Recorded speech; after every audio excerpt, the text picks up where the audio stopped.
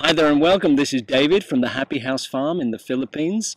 And I just want to give you an update about some of the experiments we've been doing. One is an experiment in cover crop.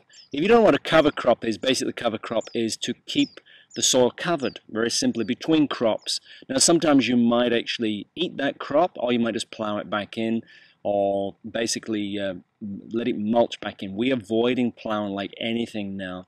Uh, we're in conversions, so we, we have to do a little bit of plowing on some of our fields because they're just unproductive otherwise. Um, but we're working here with one, which is Kardis. Now, I'll just quickly show you the field. There's the field. Nothing exciting, it's just a field, but in here is our Kardis cover crop. Now, this was planted by hand in a time of the year which is bone dry. This land has not seen anything for nearly two years. There's been no cover crops, it's not been ploughed, and basically it's been no water now for one month. So it's rock hard. And we thought, well, what can we plant? Now, we heard about Kardis, which is pigeon pea, as a cover crop. I thought, whoa, that's interesting, because we didn't realize we were actually growing pigeon pea behind me here, and I'll show you in a second, for soil erosion control. And pigeon pea is actually a nitrogen fixer as well. So we decided to plant it as a cover crop in a rock hard ground. We individually dug the holes and uh, basically 300 by 300. I'll show you the grid. You can probably see the moisture on the ground where the individual grids have been actually planted. And I'll show you the kardis. I'll have to sort of go down uh, low. And you can see the little baby kardis here. And here's one sitting here and there's another. And hopefully you can see that on the video. Here it is. And you can see the long row here going out. And we didn't do any weeding, we just used the machete to cut the grass where it was needed. And we just dug a hole with a steel bar. We put compost in it, in the hole, quite a deep hole, about 8 to 9 inches deep. And that's about uh, 250 millimeters.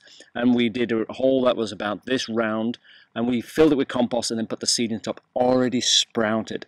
The seed had a little tail, so that means that we knew we would get a good success rate. Now we came and watered this yesterday, and we didn't realize it actually sprouted because there's a lot of grass and things in here and, and, and uh, secondary weeds that we never removed.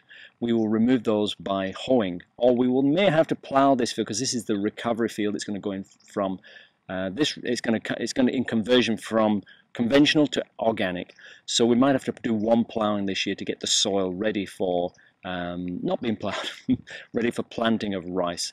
So basically in here we put in the kardis and it's growing very well, very well. It took about four days to come up. And we were like, oh, is it going to come up? Is it going to, oh, what's going to, it's bone dry. But kardis is drought resistant. Now this went in soil that was one month no rain. We just micro watered each hole. We're short of water. We have two barrels of water a day right now on the farm, which is about 400 liters of water. Not a lot for, we've got four people here at the moment. And we've got to water the garden and so on and the, the vegetables. So water is a premium right now. So we micro watered each hole, which was a lot of work, but now the kardis are coming up. And it's basically not a massive field. Obviously doing this on a commercial scale would not be viable. So we've got about uh, six fields that we could do here, but we don't have the water. So we've just done this one experiment. I'll show you Kardis behind me as it's fully grown. This is a two-year-old mature Kardis. Are you ready to do a little run to the Kardis?